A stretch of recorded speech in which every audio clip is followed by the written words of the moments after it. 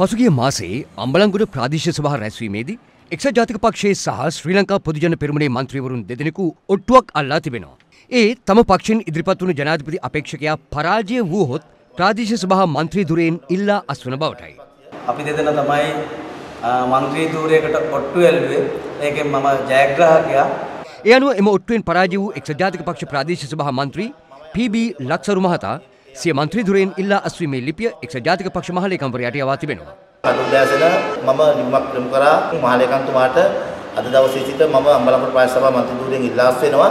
නමුත් මට මේ වන විට ප්‍රදේශීය ජනතාවගෙන් ඉල්ලීමක් ඇවිල්ලා තියෙනවා එහෙම තීන්දුවක් ගත්ත එක වැරදි කියලා මොකද ජනතාවගේ ඡන්දෙන් ආපු එක සම්බන්ධයෙන්. නමුත් මම මේ වෙලාවේ ගත්තේ පක්ෂේ නායකයෝ වෙනුවෙන් ඒ තීන්දුව. මෙතුමා පක්ෂයේ ලේකම්තුමාට යවලා තියෙන ඉල්ලා අස්වීමේ ලිපිය මම මෙතුමාගෙන් ඉල්ලනවා මොකද ගමේ ජනතාවට සේවය කරන්න අපි ඔක්කොම ඇවිල්ලා තින්නේ. නැවතත් ප්‍රාදේශ සභාවේ മന്ത്രി දුර පුටුවේ පාඩලා ගමට සේවය කරන්න මම මෙතුමට ආරාධනා කරනවා යලිත් වතාවක්.